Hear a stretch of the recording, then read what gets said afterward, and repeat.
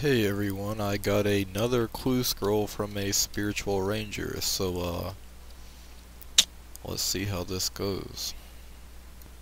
Okay, this is the um, the Shilo Village one. Alright, opening that casket. That's another clue.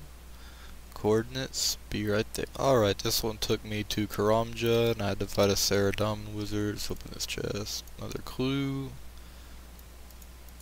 Alright, that's this clue's taken me to this uh volcanic structure. Dig right here. Opening chest. Found another clue. Alright, it took me to the one where you laugh at the uh, barbarian tent. You laugh.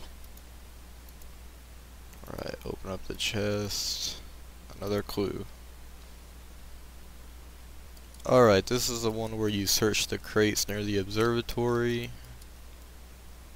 And whoa! Whoa, that might actually be worth something. Zamorak plate body. Hold on, let me see how much that is. Alright, so the uh the Zamorak plate body is um 180,000 which is pretty good considering it took me 15 minutes to do this and um, the 22 purple sweets you know if you if you add that together 268k plus alching the rune legs that's about a 300k clue which is which is why I do them sometimes. Alright see you on the next clue video